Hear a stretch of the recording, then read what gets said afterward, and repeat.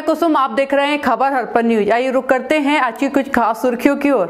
उपनगर ग्वालियर में पुलिस ने अवैध नशे खराब कारोबार करने वालों के खिलाफ कार्रवाई करते हुए बिरला नगर रेलवे स्टेशन से दो तस्करों को पकड़ा है। इन तस्करों से करीब 25 किलोग्राम गांजा बरामद किया गया है। बदमाश इस गांजे की खेप को उड़ीसा से लाकर स्थानीय तस्करों को सप्लाई करने वाले थे। पकड़े गए तस्करों के नाम अनबुल तिवारी जितेन जाटव बताए गए हैं। यह सीतापुर और महुआ ज़िले के रहने वाले हैं। बरामद किए गए गांजे की कीमत तकरीबन पाँच लाख रुपए के आसपास बताई गई है। दरअसल गांजा तस्कर उड़ीसा से इस गांजे की खेप को लेकर ग्वालियर आए थे। बिल्लानगर रेलवे स्टेशन पर इन्हें अपने ठिकाने पर जाते समय पकड़ा गया है। पुलिस के मुताबिक यह लोग लंबे अरसे से गांजे की तस्करी से जुड़े हुए थे। पुलिस इनके स्थानीय संपर्कों की तलाश में भी जुटी हुई है। कार्रवाई की गई? किस कार्रवाई की? पुलिस अधीक्षक ग्वालियर जिला में संघ सर को सूचना मिली थी कि कुछ लोग हैं जो ट्रेन से आ सकते हैं समता एक्सप्रेस से।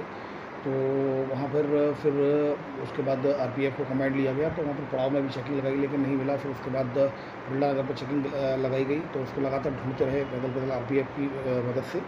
और टीआई अजीरा ने भी अपने थाने के फोर्स के साथ, और सीएसपी अजीरा के द्वारा भी लगातार सर्च किया गया। तभी काफ़ी सर्चिंग के बाद दो लोग मिले जिस सुबह तक सर्चिंग हुई। उसमें तो दो लोग मिले और दो लोगों से जब पूछताछ की गई तो उन्होंने अपना नाम बताया और अपने को जो निवासी जो यूपी के रहने वाले हैं दोनों और जिनमें से कि अभी एक हल वर्तमान दिल्ली में रह रहा है तो उसके उनकी जब चेक तलाशी ली गई तो उनके एक ट्रॉली बैग में से, बैग में से एक ट्रॉली बैग में से चार पैकेट निकले और दूसरे बैग में से पाँच पैकेट निकले, कुल मिलाकर नौ पैकेट निकले, जिसमें चौबीस किलो गांजा है जो कि लगभग पाँच लाख की कीमत का है।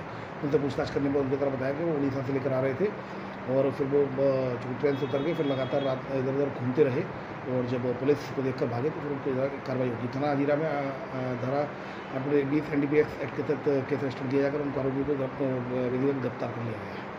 सर, लगातार देखा जाए दो महीने में गए तो उसके करीबन आधा दर्जन लोग पकड़े गए हैं।